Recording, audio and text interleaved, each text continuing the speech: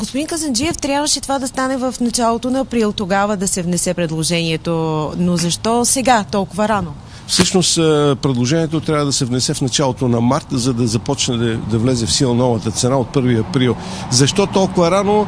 Вероятно, за да свикна хората с едно такова действително голямо увеличение на цената на природния газ, ако то бъде дадено от комисията.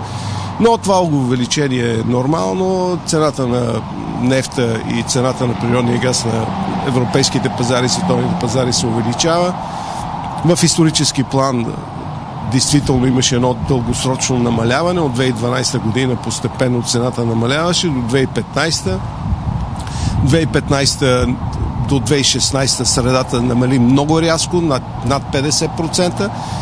И най-низката граница на цената беше в средата на 2016 година. От този момент е, цената започна постепенно да расте, паралелно с цената на петрола и естествено е да настъпи една корекция в цените. Първата беше в това 3 месече на 2017 година, което беше символично.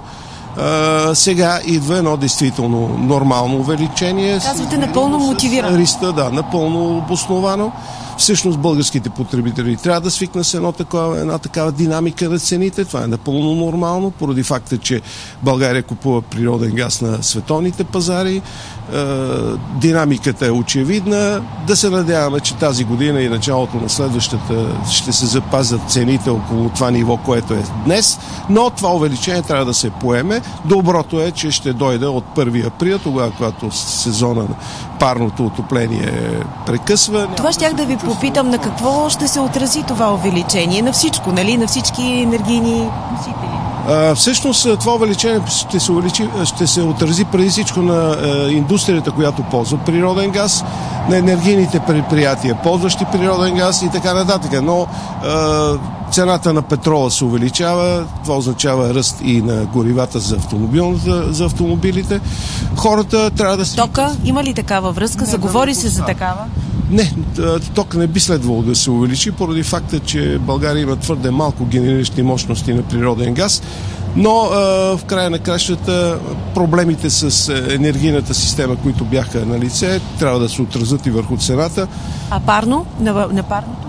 Същия проблеми с парното. Не трябва да забравяме, че години наред много... Ще се отрази ли на цената на парно? Без съмнение ще се отрази в следващия сезон и то доста осезателно. Да се надяваме, че ще бъде в рамките на тези увеличения, които са сега или малко по-високо. Но това е, това е пазара. Хората трябва да се подготвили.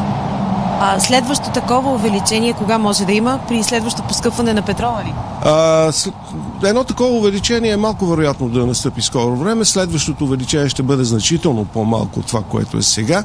А, трябва да подчертаем, че увеличението на петрола започна от октомври месец доста стръмно и всъщност 6 месеца парното, а, цената на природния газ се покачваше непрекъснато.